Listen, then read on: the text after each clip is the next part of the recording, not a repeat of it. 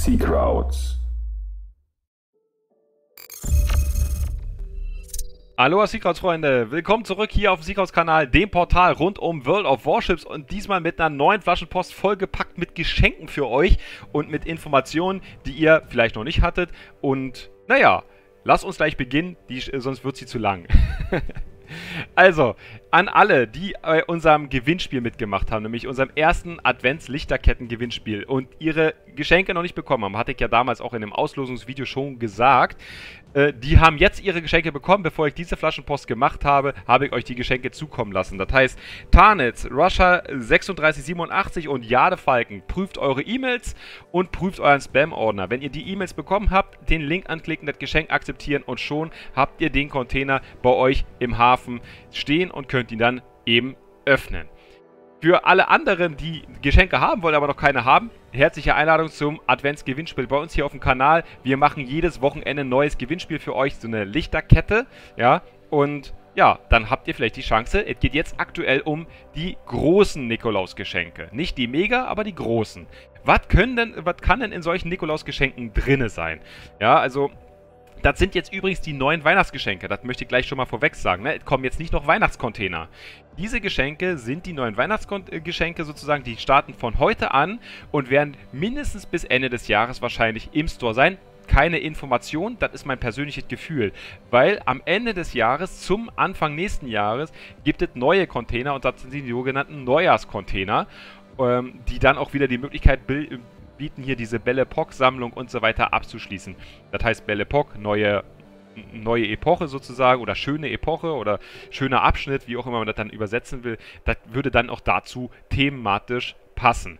Deswegen könnt ihr quasi hier schon mal ähm, von Santa eure Nikolausgeschenke abgreifen oder eben mitnehmen oder eben verschenken, ähm, wie ihr das eben möchtet oder bezeichnen möchtet. Wenn ihr in-game dabei seid und diese äh, Geschenke das erste Mal seht, dann könnt ihr natürlich auch eure Geschenke in-game bekommen. Also nicht nur, die, äh, nicht nur alle, die das erste Mal dabei sind, sondern jeder von euch, der sich vielleicht heute noch gar nicht ausgelockt hat, weil er so viel World of Warships äh, spielt, dann geht ihr auf das Schiff, klickt hier auf den Button rauf, kommt dann zu eurer Ingame-Seite und damit ruft ihr automatisch zwei Geschenke ab, die euch Wargaming nämlich gibt. Nämlich zwei 90 Cent, also Standard ähm, Christmas-Container, also hier Nikolaus-Container, die ihr dann auf dem Schiff öffnen könnt. Bei mir waren 300 Dublonen drin und nochmal Tarnung, diese Neujahrschlangen-Tarnung, vier Stück. Das ist halt der Standardbereich. Was gibt es denn für Geschenke? Ich hatte es eben schon gesagt. Hier Nikolaus-Geschenk. Das ist der Standardgeschenk, kostet 90 Cent.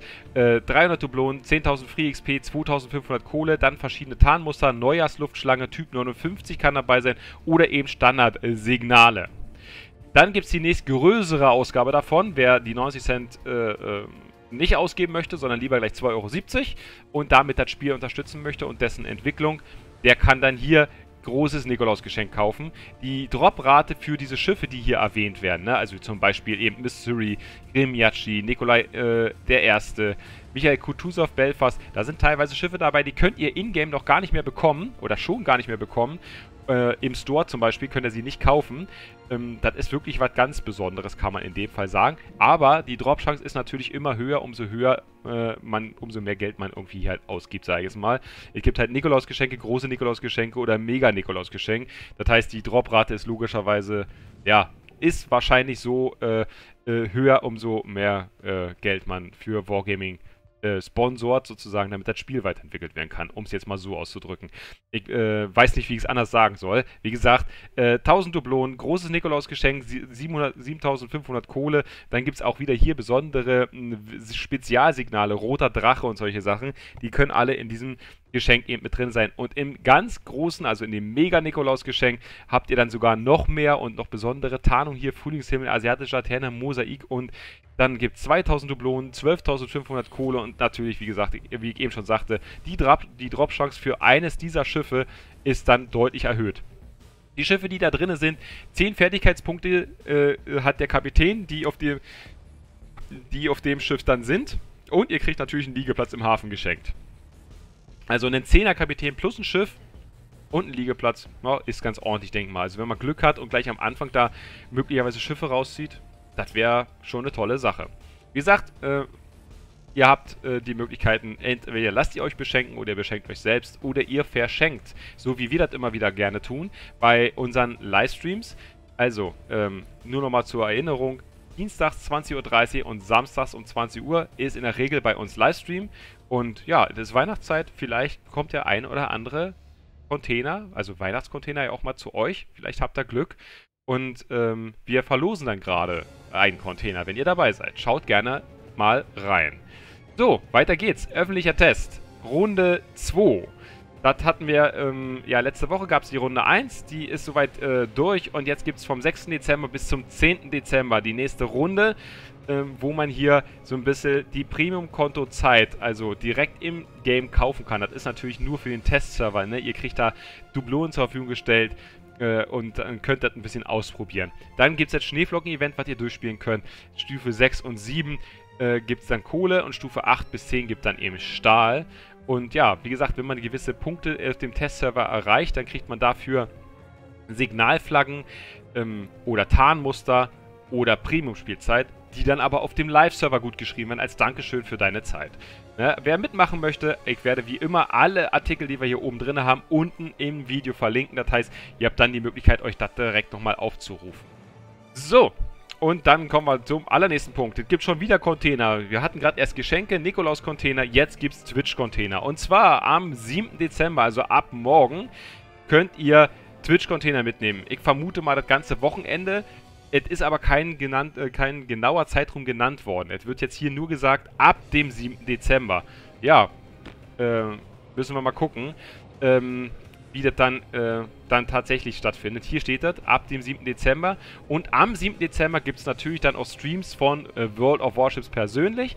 Aber das ist nicht alles. Ihr müsst nicht nur bei World of Warships persönlich vorbeigucken, sondern ihr könnt auch die ganzen Kontributoren und natürlich auch jegliche andere Streamer, die World of Warships streamen, gucken und ihr bekommt dann diese Sache gut geschrieben. Wie funktioniert das? Ihr loggt euch in euren Account hier oben rechts ein und dann wenn ihr äh, auf dieser Oberfläche seid, wo ihr das Passwort auch ändern könnt und solche ganzen, ganzen Döns-Geschichten hier, könnt ihr an der Seite Twitch, den Twitch-Button drücken. Dann werdet ihr weitergeleitet und auf dieser Seite gebt ihr euren Twitch-Account ein und dann wird der mit eurem Wargaming-Account verbunden. Und äh, wenn das miteinander verbunden ist, dann muss der Streamer, den ihr schaut, nur noch folgendes äh, in seinem Kanal stehen haben. Nämlich, wenn ihr, euren, wenn ihr den Stream schaut, wir sind hier auf unserem äh, Twitch-Kanal, dann äh, muss hier in der Kategorie World of Warships stehen. Weil das ist der Faktor, woran Twitch erkennt, dass das ein, äh, ein, ein World of Warships Stream ist. Da kann ja auch ein anderes Spiel stehen und er kann trotzdem World of Warships Stream, also, ähm, er kann World of Warships streamen, aber hat da meinetwegen keine Ahnung, irgendein anderes Spiel stehen, ähm, dann wird das aber euch nicht gut geschrieben werden, weil das über diese Kategoriegeschichte nämlich läuft. Die Kategorie, äh, wenn ihr in der richtigen Kategorie guckt und dann einen Account habt, der mit dem Twitch-Konto, äh, der Twitch-Konto ist mit eurem Wargaming-Konto verbunden, dann können euch nur diese Random Drops, diese Twitch-Container, ähm, ja, gut geschrieben werden. Das ist der wichtige Hintergrund dabei, da müsst ihr aufpassen. Ja, manchmal vergisst man das einfach. Das ist nicht mal böse Absicht, äh, wenn man als äh, Streamer die Kategorie nicht aktualisiert hat, ja. Also kann also durchaus sein, ne? Immer schön ein Auge drauf haben. Prinzipiell eine coole Geschichte. In diesen Containern können dann wieder ganz besondere Sachen sein, äh, hier, die in dem äh, Twitch-Containern eben mit so drin sind. Ne? Also Twitch-Tarnungen waren da, glaube ich, dann gab es so einen Twitch-Erfolg, wenn man den nicht schon hat. Ja, und ähm, ja, so eine, so eine netten Kleinigkeiten. Dann geht's zum nächsten Thema, ne? Chat-Moderation. Ihr habt immer schon mal Situationen gehabt in-game, wo ihr vielleicht enttäuscht wart, aber euch richtig verhalten habt. Nämlich, ihr, ihr habt innegehalten, habt versucht trotzdem ähm, das Spiel vielleicht zu gewinnen, indem ihr äh, die Mitspieler ein bisschen anfeuert und ihr habt nicht gegen die Regeln verstoßen, indem ihr die Leute beschimpft oder ähm, andere Sachen im Chat macht, die da nicht hingehören. Das wird in Zukunft nämlich noch schwerer für diese Leute, weil in Zukunft nämlich äh, die Chatlogs regelmäßig re gereviewt werden, also nochmals durchgegangen werden am Tag. Ich denke mal, die haben da zusätzliches Personal eingestellt und wahrscheinlich auch eine elektronische Möglichkeit gefunden, bei so vielen Gefechten wie hier am Tag stattfinden, diese Chatlogs zu prüfen. Und da wird dann halt alles rausgefiltert. Weiterhin ist es an euch, wenn euch Spieler auffallen, die sich falsch im Chat verhalten, gegen die Regeln von Wargaming und World of Warships verstoßen, bitte meldet die weiterhin übers Report-System, weil somit es noch leichter wird, Unruhestifter und äh, ja, Fehlverhalten eben zu bemerken und den entsprechenden Maßnahmen zu ergreifen für Wargaming. Und deswegen ist es ist es nur eine zusätzliche Funktion, nicht dass die alte Funktion, die quasi mit dem Melden schon ähm, ins Spiel integriert wurde, damit abgeschafft wird. So, und dann kommen wir zu den 3D-Modellen, die ich euch das letzte Mal ein Stück weit vorenthalten habe, weil das irgendwie bei mir Probleme gab, äh, diese Modelle alle zu laden. Jetzt habe ich sie vorbereitet und ich zeige sie euch jetzt. Also, die Yahagi ist das erste 3D-Modell, was wir hier vorstellen. Das ist ein T5-Kreuzer der Japaner. Äh, besonders interessant sind sicherlich die maximale Feuerreichweite von fast 15 Kilometer. Die Entdeckbarkeit ist standardmäßig bei 11,3, aber ihr könnt da Tarnungsmodul reinbauen. Ähm, nicht der Tarnungsmodul, Tarnungsmodul, sondern die, ähm, den Tarnungsskill gibt dann ja 10%. Eigentlich gibt es jetzt aktuell, glaube ich, noch 12%. Das soll ja runtergesetzt werden. Rechnen wir nur mit 10%. Und eben ähm, die Tarnung, die hier schon drauf ist, dann seid ihr auf jeden Fall mal um und bei 10 Kilometer und könnt ähm, halt 15 Kilometer schießen. Eure Torps gehen auch 10 Kilometer. Das heißt, ihr seid dann so auf dem Niveau, wo ihr vielleicht sogar noch verdeckt torpen könnt. Und jetzt kommt auch nochmal eine Besonderheit. Die Torpedo-Tubes, also die, Ra äh, die Tor Raketenwerfer wollte ich schon sagen, die Torpedowerfer haben einen Alpha-Damage 12.967. Das ist jetzt hier alles Supertest. Also nehmt diesen Wert nicht für voll. Es kann also durchaus sein, dass der nachher viel niedriger ausfällt. Wie bei allen 3D-Modellen und allen Werten, die ich euch jetzt gerade sage, kann das alles noch viel, viel anders kommen ins Spiel. Das ist alles Supertest und kann sich alles jederzeit verändern. Teilweise drei, vier, fünf, sechs Mal. Wir erinnern uns an die Prinz Eitel, die dreimal verändert wurde, zum Beispiel. Also, das ist nun mal so nice to know. Die Torpedos haben hier eine Geschwindigkeit von 67 Knoten, zumindest vor dem Supertest oder jetzt im Supertest aktuell. Was kann man noch sagen? Nachladezeit 10 Sekunden, 2,0 Sigma und äh, 13% Brandwahrscheinlichkeit. Das ist äh, das, was man vielleicht noch da erwähnen soll. Und dann kommt das äh, Besondere bei der ganzen Geschichte ist nämlich, bei den Schiffen, die ich jetzt euch vorstelle, die Verbrauchsmaterialien nämlich schon dreifach hinterlegt sind. Was soll das heißen? Ich ziehe das mal kurz rüber. Hier ist er zu sehen, ja. Ähm, ihr habt es jetzt hier so. Wir haben ein Schadensbegrenzungsteam, wir haben eine Hydroakustik und wir haben einen Abfangjäger. Aber dann gibt es hier das Standardverbrauchsmaterial, dann gibt es das Premium-Verbrauchsmaterial und dann gibt es hier plötzlich eine dritte Kategorie. Ja, Damage Control Party 3, Hydroakustik 3 und Katapultflieger 3. Was ist da los? Wurde bis jetzt noch nie drüber gesprochen, dass es eine dritte Kategorie geben soll.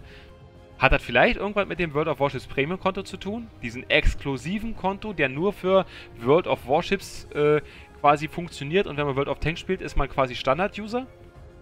Keine Ahnung, ich bin gespannt. Schreibt mir gerne eure Gedanken dazu unten unter das Video dass es äh, da jetzt ein drittes Verbrauchsmaterial geben soll. Ich bin äh, sehr, sehr gespannt, was eure Meinungen sind. Ich kann jetzt hier auch keinen Werte, also keinen Unterschied in den Werten finden. Also die, die Dauer, wie die Hydroakustik aktiv ist, die, der Cooldown ist genau identisch zwischen dem äh, zwischen der 3er und der 2er Stufe, also dem Premium-Verbrauchsmaterial. Die, auch die Reichweiten sind komplett identisch. Keine Ahnung, was das äh, wird, aber ja, wir können gespannt sein. Wargaming hat sich wieder was Neues für uns ausgedacht. Ähm, und lässt jetzt Vermutungen jede Menge Raum. So, wie gesagt, das hier ist die Yahagi. Und jetzt gehen wir gleich weiter zur Leone. Ein italienischer Zerstörer, wovor, wo sofort ins Auge fällt, dass ihr hier vier Türme habt. Eins, zwei, drei, vier. Und jeder Turm hat nicht etwa ein Rohr, sondern jeder Turm hat zwei Rohre. Das heißt, ihr habt acht Mumpeln. Und das äh, Kaliber hier ist mit 120 mm angegeben. Mit einer Schussreichweite. Ich bin auf, dem falsch, auf der falschen Karte mit der Schussreichweite von 12,1 Kilometer. Also ein richtiger Gun-DD, also so ein japanischer Gun-DD kann man sagen. Die Torpedos sollen 12 Kilometer weit schießen, also weit schwimmen. Und hier wird angegeben ein Doppelwerfer, sozusagen zwei Werfer, zwei Rohre, kann man hier sehen, die dann einen Schaden austeilen. Alpha 13.367. Auf Tierstufe 6 soll dieser Schiff unterwegs sein. Nachladezeit für die Torpedowerfer 60 Sekunden für 12 Kilometer Torps. Alter Schalter. Ja, gucken wir mal. Da, sind die, da schwimmen die anderen Torps noch, wenn ihr schon wieder neue ins Wasser werfen könnt, so ungefähr. Sigma 2,0, Nachladezeit der Türme 8,5 Sekunden, aber die Wende, äh, Wendezeit ist relativ lang. Mit 22,5 Sekunden äh, dauert der Turm da, ähm, ja doch relativ lange, die 180 Grad zu überwinden. Ne? Und 6% ist hier die Brandwahrscheinlichkeit. So. Auch hier gibt es wieder dieses Sonderverbrauchsmaterial, was dann oh, Nebelwerfer, Schadensbegrenzungsteam, Motorboost also dieses violette Verbrauchsmaterial, diese, drei, drei, dritte, diese dritte Stufe wurde da auch, halt jetzt auch mit eingesetzt. Zumindest hier äh, in dem Supertest erstmal. So, und dann kommen wir zur nächsten Stufe und die ist dann schon gleich eine Ecke höher. Wir sind bei T9. Äh, Neustrashimi heißt dieser Zerstörer der äh, Russen. Ja, was hier sofort auffällt, meiner Meinung nach, ist, dass er vorne und hinten jeweils nur einen Turm hat. Das heißt, ihr habt hier ähm, zwei Rohre 130 mm verbaut bekommen oder könnten verbaut werden. 12,75 ist hier die Feuerreichweite. Und was auch auffällt, ist zwei Torpedowerfer in der Mitte und zwar fünf Rohre, Sch äh, Schwimmweite der Aale 10 Kilometer. Also ganz ordentliche Geschichte. Zerstörer 36 Sekunden, äh, 36 Sekunden schnell. 36 Knoten schnell, 7,1 ist die Entdeckbarkeit. Das heißt, ihr habt hier zweimal 10%, die ihr abziehen könnt über das Modul, über den Kapitän und dann über die Tarnung nochmal 3%. Das heißt, ihr seid unter 5,8, 5,7 Kilometer irgendwo da, werdet ihr angesiedelt werden von der Sichtbarkeit des DDs. Und das, wie gesagt, bei einer Torpedoreichweite von 10 Kilometer. Ich glaube, der könnte, äh, das ist der erste, top, so richtige, typische, also so ein so ein DD, der komplett auf die, ähm, auf Torpedo ausgerichtet, also diesen auch als Schwerpunkt hat. Ne? Ich glaube, bei den Russen gab es noch nicht so viele, die so einen richtigen Torpedo-Schwerpunkt haben und so, so spät erst aufgehen mit 5, hast du nicht gesehen, Kilometer. Also, äh, interessante Geschichte. 10 Sekunden dauert die Turmdrehzeit hier. 4 Sekunden die Nachladezeit. Sigma ist 2,0 hier angegeben. 8% die Brandwahrscheinlichkeit. Äh, die jetzt hier zu Buche steht äh, im Test. Und auch hier gibt es Verbrauchsmaterialien und ja, gar nicht so wenige vor, nämlich ganze fünf Stück. Schadensbegrenzungsteam, Nebelwerfer, defensive Flakfeuer, Reparaturmannschaft und den Motorboost gibt es da auch noch. Und das alles auch in drei Kategorien: Standard, Premium und äh, Magenta, sage ich jetzt einfach mal. Ähm, was dann da zur Verfügung bekommt, das Schiffchen. Ähm, also auf T9 relativ stark, würde ich sagen. Die Trefferpunkte sind auch recht beeindruckend. 20.500 Trefferpunkte, das haben manche DDs nicht auf T10. Ja, also auch nicht äh, zu verachten. Und dann kommen wir schon äh, zum letzten Punkt. Das ist nämlich dann die Atsumaya. Und zwar wird das das japanische Gegenstück zur Alaska und zur Kronstadt. Ein T9 Schlachtkreuzer, 310 mm Kanonen ähm, sind da verbaut. Drei Türme, A3 Rohre. Und äh, haben auch da Besonderheiten. 71.800 ist der Health-Pool, den ihr da habt. 19 Kilometer weit könnt ihr schießen. Es gibt keine Torpedos. Man, äh, Geschwindigkeit sind 34 Knoten und die Ruderstellzeit 13,9 Sekunden. Der Wendekreis ist relativ groß mit 920 Metern. So, was haben wir hier noch? Turmdrehzeit um 180 Grad bei 36 Sekunden. Nachladezeit sind 18 Sekunden. Sigma 2,05, also ziemlich genau die ganze Geschichte. Ja, und dann ähm, können wir hier noch was zur Brandwahrscheinlichkeit sagen. Genau, HE 27% Brandwahrscheinlichkeit, wobei hier sicherlich die AP-Granaten nicht zu verachten sind. Und auch hier haben wir Consumables, die ihr verbrauchen könnt. Also Schadensbegrenzungsteam, wir haben äh, defensives Flakfeuer, wir haben ein Aufklärungsflugzeug und wir haben die Reparaturmannschaft natürlich. Und dann gibt es die Hydroakustik, die man mit dem defensiven Flakfeuer tauschen muss oder kann. Und auch da sind dann wieder die, ist das dritte Verbrauchsmaterial dann wieder im Spiel verfügbar. Also da bin ich echt gespannt, was sie mit dem Verbrauchsmaterial machen. Sonst, wie gesagt, Schiffchen sieht echt äh, schnieke aus so typisch japanisch, sage ich jetzt einfach mal. Ähm, gucken wir mal, wie sich dieser Dampfer dann im Spiel macht und ob es vielleicht mittelfristig dann doch nochmal eine Schlachtkreuzerkategorie gibt und kein, weil das ist eigentlich jetzt in der Kreuzerkategorie einkategorisiert, ist aber doch eher typischerweise ein Schlachtkreuzer. Das Kaliber ist so groß, ja, mit 310 mm ist schon ganz schön heftig, das wird ganz schön äh, wehtun, wenn du da im richtigen Winkel von dem Schiff getroffen wirst. Sicherlich sind die Dinger dann auch wieder besonders verwundbar an der Seite. Das wird äh, äh, so typisch sein. Das ist ja bei den Schlachtkreuzern häufig so. Also zumindest aktuell noch, ob nur Stalingrad oder eben ähm, die Kronstadt oder die Alaska wird ja doch auch sehr, sehr ähnlich in diese Richtung gehen. Gut. Und das war es eigentlich schon mit den Themen, die wir äh, für euch haben. Aktuell läuft noch unser Adventsgewinnspiel, wenn ihr daran teilnehmen wollt. Es gibt aktuell dann jetzt große Nikolausgeschenke äh, bei uns abzustauben. Noch bis Samstag 12 Uhr ist, könnt ihr bei dem Adventskettengewinnspiel mitmachen. Und am Samstag startet dann, wenn ihr dieses verpasst habt, äh, das nächste Gewinnspiel, nämlich dann für Mega-Container. Wir werden euch nämlich dann drei große Container, also die Mega ähm, Nikolaus-Geschenke zur Verfügung stellen und diese damals da auch dreimal verlosen. Vielleicht habt ihr dann da ein bisschen Glück mit den Containern. Ich möchte auf jeden Fall sagen, danke für eure Zeit, dass ihr dabei wart. Ich hoffe, ihr habt ein paar Informationen mitgenommen, die ihr vielleicht noch nicht hattet in der Art und Weise. Würde mich freuen, wenn es so ist. Wenn ihr noch nicht abonniert habt, lade ich euch herzlich ein, unseren Kanal zu abonnieren und die Glocke nicht vergessen, damit ihr jede Flaschenpost seht, wenn wir sie dann zur Verfügung stellen. Wir versuchen das immer möglichst schnell und zeitnah die Informationen euch zu geben. Wenn es euch gefällt und ihr vielleicht einen Kumpel habt, der dieses hier noch nicht kennt, gerne weiterempfehlen. Bin ich auch sehr, sehr dankbar für. Und ja, wir sehen uns dann im nächsten Video, vielleicht in einem Livestream oder halt äh, auf einer, bei einer Schiffsvorstellung oder der nächsten Flaschenpost hier auf dem Kanal. Ich wünsche euch eine schöne Zeit und bis zum nächsten Video. Haut rein, euer Secrets Team, euer Marara. Ahoi. Ciao, ciao.